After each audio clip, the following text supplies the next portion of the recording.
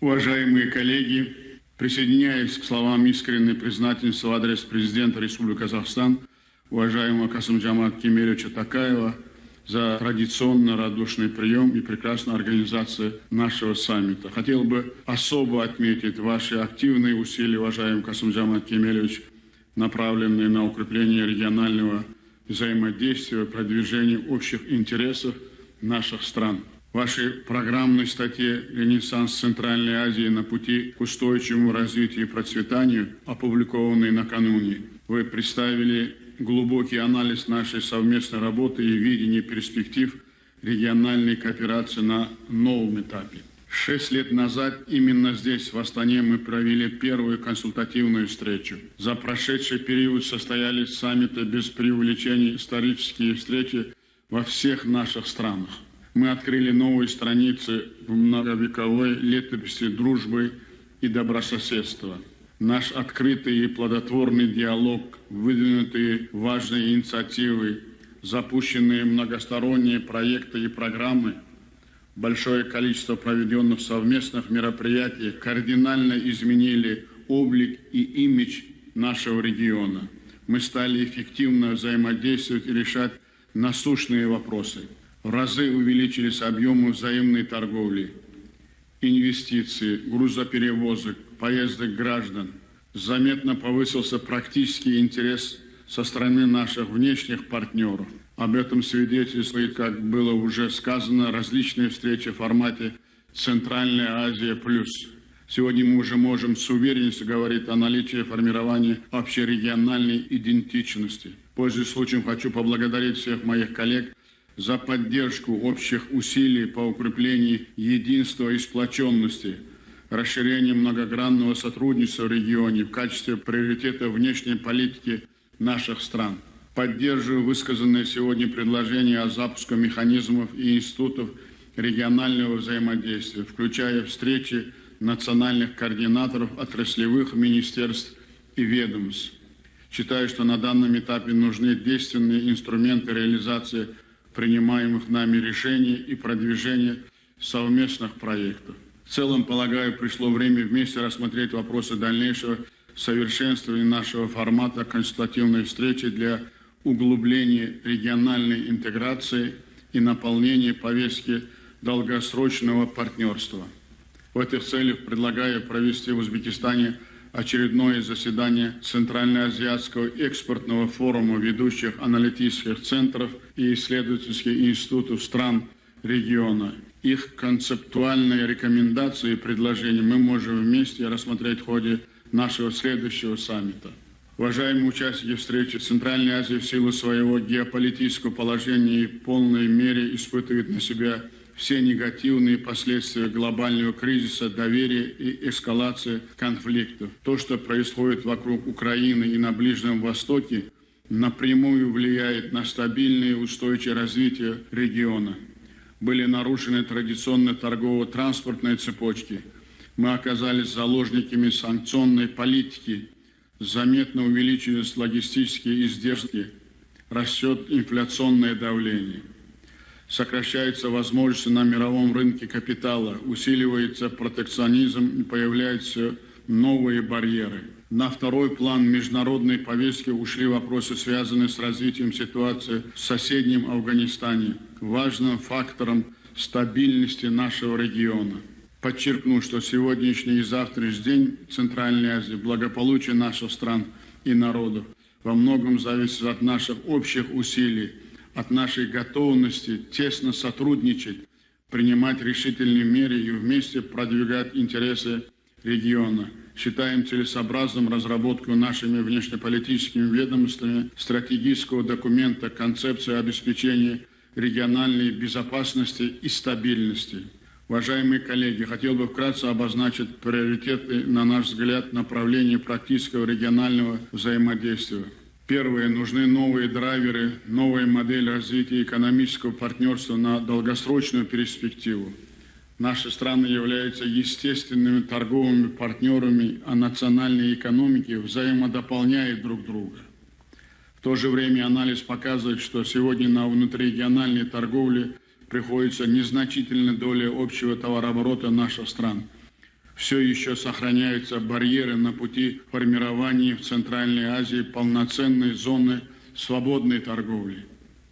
С подключением международных экспортов мы провели анализ и выявили первоочередные меры, которые позволят обеспечить двукратный рост объемов взаимной торговли в ближайшие пять лет. Это более 500 товарных позиций. Прежде всего речь идет о следующих мерах.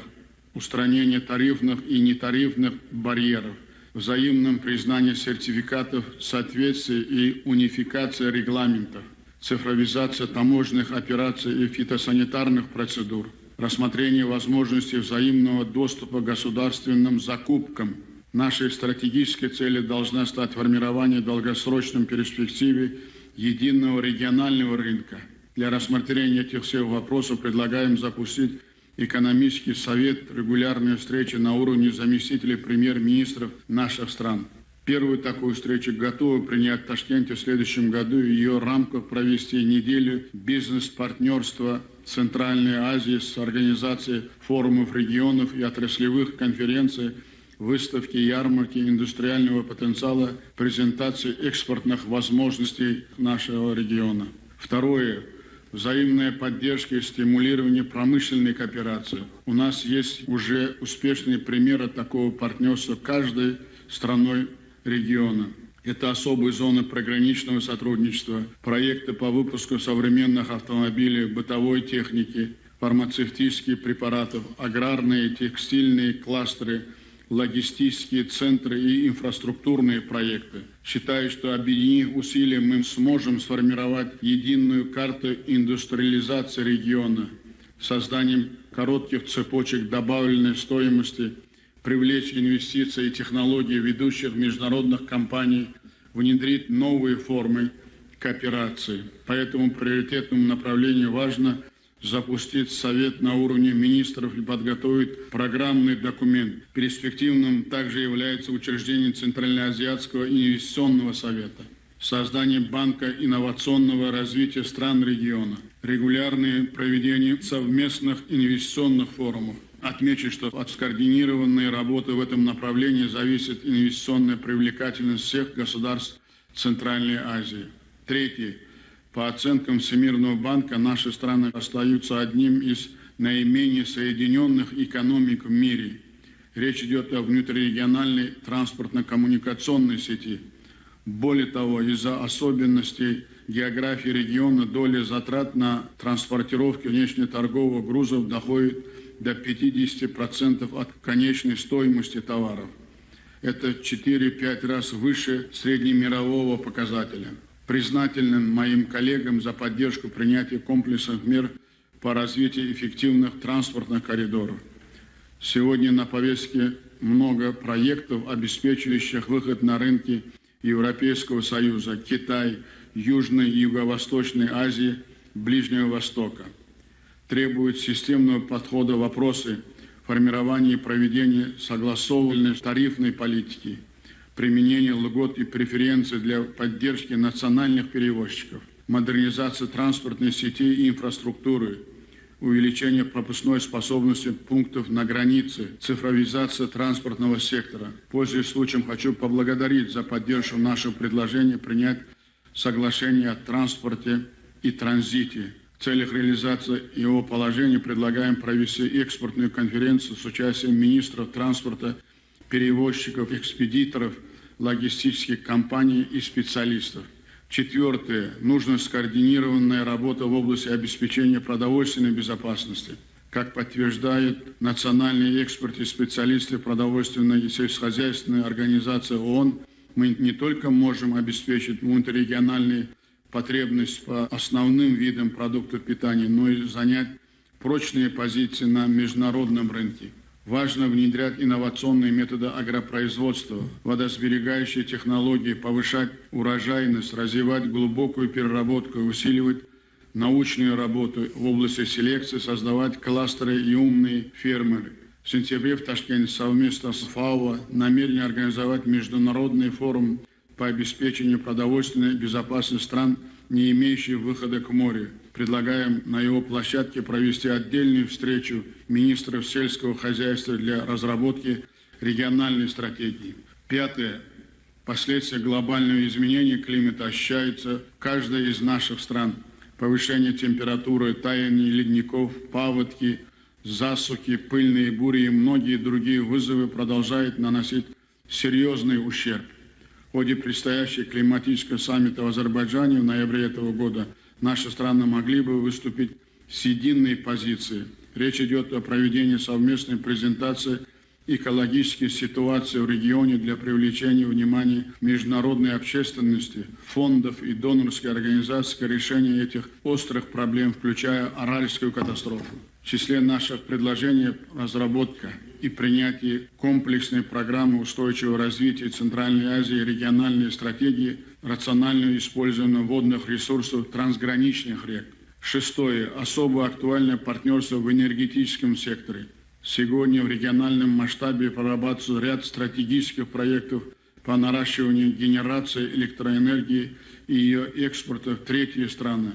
Кроме того, есть планы по развитию атомной энергетики, увеличению поставок углеводородов. Считаю, что это одно из ключевых направлений для проведения скоординированной работы в рамках регулярных встреч министров энергетики. Уважаемые коллеги, мы высоко оцениваем и всесторонне поддерживаем развитие плодотворных обменов между парламентами стран. В следующем месяце планируем провести в Древней Хиве очередной межпарламентский форум стран региона. Учитывая общность культурно-исторического наследия, следует уделять большое внимание развитию населения чувства сопричастности, сплоченности, осознания общей ответственности за будущее региона. Думаю, что скорейший запуск международной медиаплатформы «История и культура Центральной Азии. Одно прошлое и общее будущее» станет важным практическим шагом в данном направлении. В целях дальнейшего укрепления взаимопонимания и сплоченности народов региона предлагаем провести научный форум, посвященный практическим аспектам формирования региональной идентичности для продвижения молодежной повестки Центральной Азии 2030 и вовлечения молодого поколения программы сотрудничества предлагаем регулярно проводить региональный молодежный конкурс инновационных идей и проектов. Считаем важным принять Центральноазиатскую программу образовательных и академических обменов – разработать соглашение о взаимном признании дипломов ведущих вузов наших стран. Предлагаем также выделить на взаимной основе стипендии для обучения одаренных студентов из государств региона. Для предметного обсуждения этих проектов намерены провести в октябре в Ташкенте первый образовательный форум Центральной Азии. Был бы признателен за включение национальной делегации ваших стран, министров образования, ректоров, ведущих университетов, ученых и экспертов. Новым драйвером регионального партнерства становится сектор туризма. Доля внутрирегионального туристического потока в наших странах в последние годы значительно увеличилась.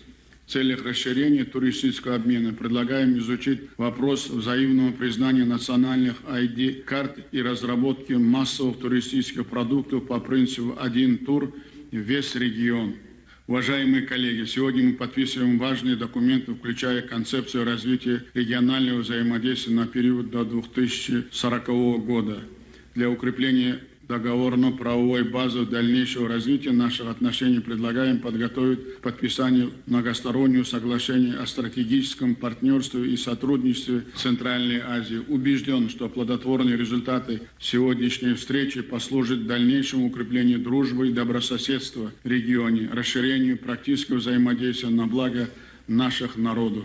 Пользуясь случаем, приглашаю всех вас в Узбекистан для участия в седьмом саммите глав государств Центральной Азии в следующем году. Благодарю за внимание. Касым Кемелевич, дорогие друзья, уважаемые коллеги, сердечно благодарю за вручение мне высокой награды почетного знака глав государств Центральной Азии.